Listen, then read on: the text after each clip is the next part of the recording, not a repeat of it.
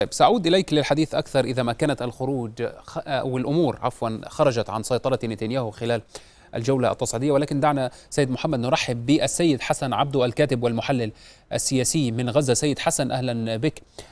في البداية أريد أن أتوجه لك بسؤال حول الخروقات الإسرائيلية التي تمارس في هذا التوقيت. آه،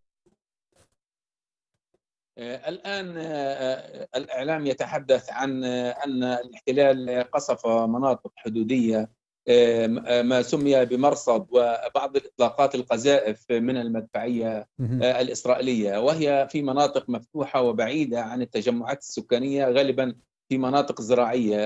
قد يكون لهذه الإطلاقات تخوفات من وجود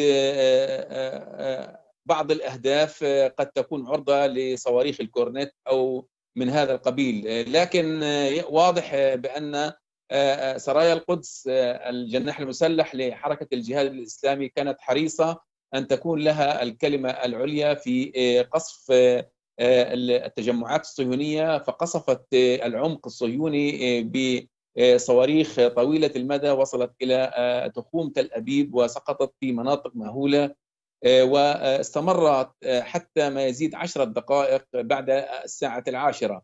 آه، والآن يسود قطاع غزة حالة من الهدوء. وعادت الأمور كما كانت أعلنت المدارس غدا ستفتح والبنوك والحالة التجارية تعود كما كانت. و أعلن أيضا عن فتح المعابر. وأيضا الاحتلال نعم. الإسرائيلي أعلن آه، بالعودة للحياة الطبيعية في منطقة غلاف قطاع غزة. يمكن القول بأن الجولة انتهت فعليا وأن هناك آه، قبول بوقت إطلاق النار وأن المساعي المصرية نجحت في النهاية في إرساء تهدئة استدامت آه، المواجهة خمسة أيام استوعبت بها حركة الجهاد الإسلامي الصدمة الجريمة وبدأت بحشد الفصائل الفلسطينية للتوافق على رد متوافق عليه ضمن غرفة العمليات المشتركة لضمانة وحدة الصف الفلسطيني كهدف من أهداف رئيسية لهذه لهذا الرد نعم. وقامت طيب. هي في الميدان سيد حسن هل آه، استطاعت الفصائل الفلسطينية تحت غطاء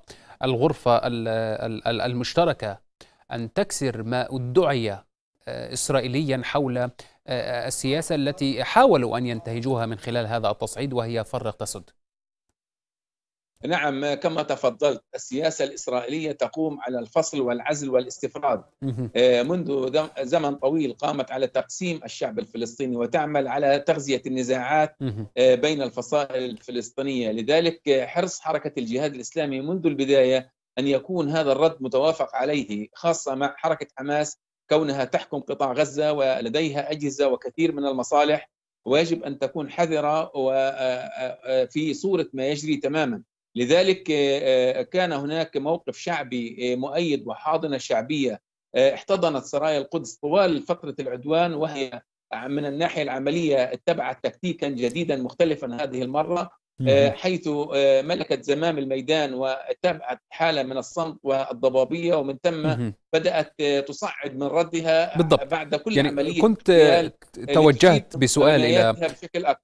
السيد محمد ضيفنا من القاهرة حول حالة الصمت التي اتبعتها سيد حسن الفصائل الفلسطينية في بداية هذا التصعيد هل له دلالات وأبعاد نعم هو تكتيك جديد. هذا الصمت فعل فعل الصواريخ نفسها لأن تعطيل الحياة اليومية في معظم البلدات والتجمعات السكانية هي هدف من أهداف المقاومة بل هي الوسيلة الأهم للضغط على الجبهة الداخلية الإسرائيلية التي يمكن أن تضجر وتتعب وتبدأ تغيير مزاجها تجاه الحكومة ومن قام بهذا العدوان.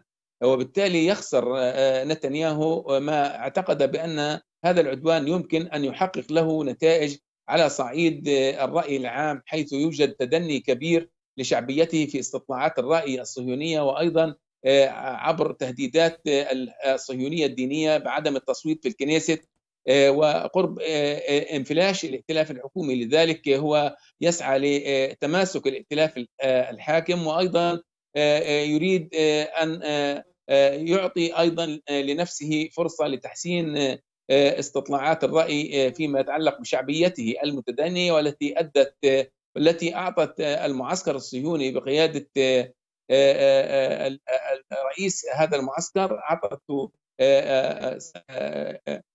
أكثر من نتنياهو وزادت على نتنياهو بأدائه بني جينيتس الذي ينافس نتنياهو. حصل في استطلاعات الرأي أفضل من نتنياهو بشكل كبير. لذلك حرصت المقاومة ألا يستفيد نتنياهو من هذا العدوان وبالفعل الردع انهار تماما المقاومين والقيادات الميدانية. ما قال نتنياهو نعم. أنه سيحاول إثباته خلال هذا التصعيد قوة الردع الإسرائيلية.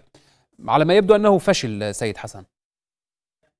نعم انهار تماما بل أن الأمن الإسرائيلي انهار تماما ولأول مرة إسرائيل تقع بها ضربات توقع هذا الحجم من الدمار منذ بداية الهجمات والحروب على غزة.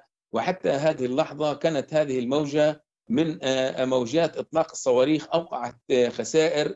وضربت مباني ولحقت بسكان مدنيين وغيرهم وقعت بهم أضرار ومن جراء هذه الصواريخ هي تكاد تكون الأولى. وبالتالي الردع انهار تماما. إسرائيل خسرت خسارة استراتيجية على هذا المستوى لا يمكن تعويضها. هيبة تل أبيب اليوم ذهبت تماما. ضرب تل أبيب أصبح مسألة عادية لدى المقاومة. كان في الماضي مسألة في منتهى الصعوبة.